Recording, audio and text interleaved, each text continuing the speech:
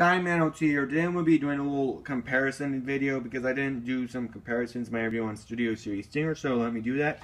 So here he is with Age of Extinction Voyager class Galvatron. As you can see, there's a difference between a Voyager and Deluxe, so that's how that's scaled right there with a Age of Extinction Voyager. And because I didn't I didn't do this in my Optimus Prime review, here he is with Optimus Prime, as you can see right there. And again, this is obviously bigger. Now I am going to transform Stinger and Bumblebee because in my Studio Series Bumblebee review, I only showed Stinger and Bumblebee in robot mode now in vehicle mode, so I'm going to do that now. Also, one little thing I want to mention is that I did have um, this little tab right there, right there, break on me, but I glued it back on. It actually made it tighter, so that is, that is actually a good thing, but I still am going to be very careful transforming it right there as you can see. Let me transform these figures off screen. Here he is with Studio Series Bumblebee in vehicle mode. As you can see, he's a bit long. I am uh, put them back here. Bumblebee's a bit longer than Stingers. You can see right there. And here he's with Age of Extinction Galvatron in vehicle mode. As you can see, is shorter than Galvatron again. Here he's with Studio Series Optimus. You can see Optimus is longer than Stinger, obviously, but he's, um,